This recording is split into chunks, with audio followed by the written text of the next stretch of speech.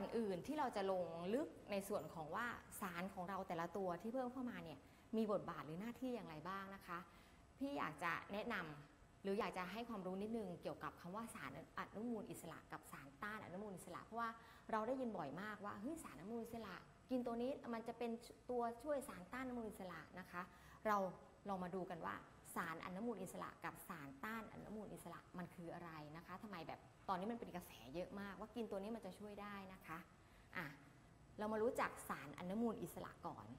สารอนุมูลอิสระนี่คือเป็นสารที่ไม่ดีนะคะ ไม่ดียังไงดูตัวสีแดงนะคะไอตัวตุ๊กตาสีแดงเนี่ยตัวเนี้ยคือสารอนุมูลอิสระ ซึ่งเขาจะมีอิเล็กตรอนที่ไม่ครบคู่นะคะ อยู่ในวงรอบอะตอมของเขา ร่างกายของเขาก็เลยไม่เสถียรนะคะ มันจึงไปแย่งเอาอิเล็กตรอนของเซลล์ดีๆ ของในร่างกายของเราเนี่ยมานะคะทำให้เซลล์ดีๆ ในร่างกายเราเนี่ยเกิดขาด เกิดขาด เกิดขาดอะตอมไปนะคะ มันก็เลยทำให้เซลล์ที่มันถูกแย่งไปเนี่ยเกิดเป็นพอมันก็เกิดขาดอะตอม เกิดขาดอะตอมแล้วเกิดทำให้เป็น เกิดเป็นเนื้อเยื่อที่ไม่ดีนั่นเองนะคะอะ พอเป็นเนื้อเยื่อที่ไม่ดีเสร็จปุ๊บมันก็ทำให้เซลล์ของเราเนี่ยเกิดการเสื่อมสลายเกิดหรือเกิดการเป็น เป็นเนื้องอกหรือเป็นมะเร็งได้ง่ายนะคะ อย่างเช่น ถ้าสมมุติว่ามันไปเกิดที่ DNA ของเรานะคะ พอ DNA ของเราเนี่ยถูกทำลายหรือการแบ่งตัวเกิดขึ้นมานะคะ พออนุมูลอิสระเนี่ยไปแย่งปุ๊บเนื้อเยื่อของใหม่ เนื้อเยื่อใหม่ที่มันเกิดขึ้นมาปุ๊บมันก็ไม่ครบคู่อะตอมของมันใช่ไหมคะพอไม่ครบคู่อะตอมเสร็จปุ๊บมันอาจจะพัฒนากลายเป็นเนื้องอกก็ได้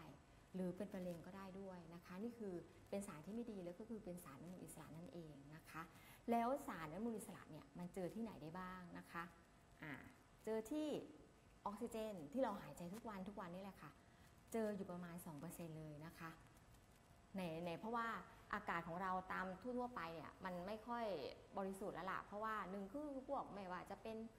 จากควันพิษ จากโรงงานหรือไม่ว่าจะเป็นจากควันเสียของรถต่างๆนะคะ พวกนี้จะมีสารมูลอิสระอยู่ถึง 2%เลยทีเดียวนะคะ ที่เข้าในร่างกายเรา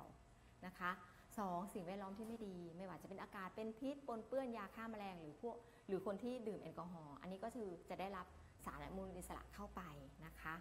หรือการกินอาหารที่ไม่ถูกสุขลักษณะนะคะ อาหารที่มีน้ำตาลสูงก็จะเป็นสารอนุมูลอิสระนะคะ หรือคนที่กินยารักษาโรคเยอะๆเยอะๆทั้งหลายนี่ก็คือจะสะสมสารอนุมูลอิสระเข้าไปในร่างกายของเรานะคะ แล้วก็สุดท้ายก็คือพวกควันบุหรี่ หรือยาเสพติด